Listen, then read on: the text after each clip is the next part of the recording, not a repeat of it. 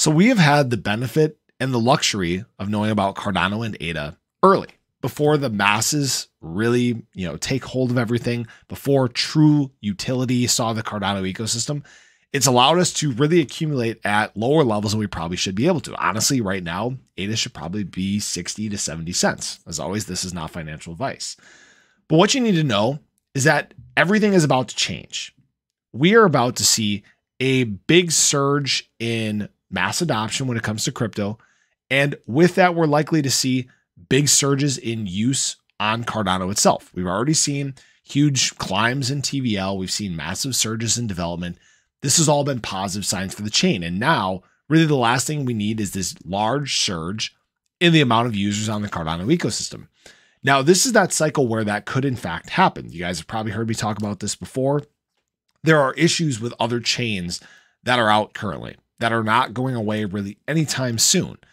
And that's going to bring a lot of people to Cardano, whether that be people that are, you know, just moving from chain to chain within the ecosystem or those who are entering the ecosystem for the first time.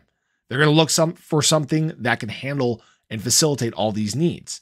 So what that's going to mean is increased use case and utility for ADA, increased demand for ADA, sending that price quite a bit higher. Again, not financial advice, but this is why we talk about those price ranges of 8 to $15 per ADA during this market cycle. Some people think it's crazy. Some people truly understand what these market cycles can bring. You know, if we look at what ADA did during the last market cycle, it did 150x. It was a top 10 coin did 150x, which is insane to think about.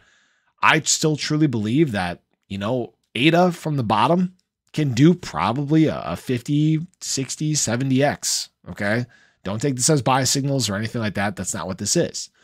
But what it also means is that as we get into following market cycles, our downside will be a little more limited. We may, may not pull back at the same rate that we have in the past. You can see it happen with other assets before that have gone through this similar cycle of adoption, and they just simply don't pull back at the same rate. It means that obviously the X's from the bottom in the next market cycle won't be as high. So you truly do have obviously a huge opportunity here in front of you. Now, it's up to you whether you guys want to take advantage or not. Some of you may be looking at ADA for the first time, and that's cool, right?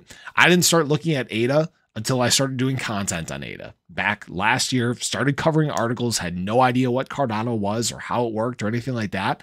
But now we talk about it each and every day here on the channel because I think it's one that can truly dominate the crypto space. It has all the solutions for the problems that exist currently.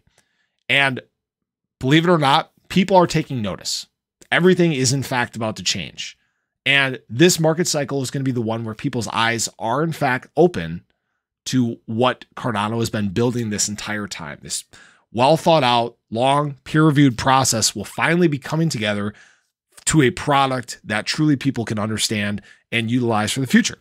So I thought I'd share that with you guys. Hope you enjoyed the video. Let me know your thoughts below. I hope you guys have a great day, and we'll catch you guys in the next one. Take care.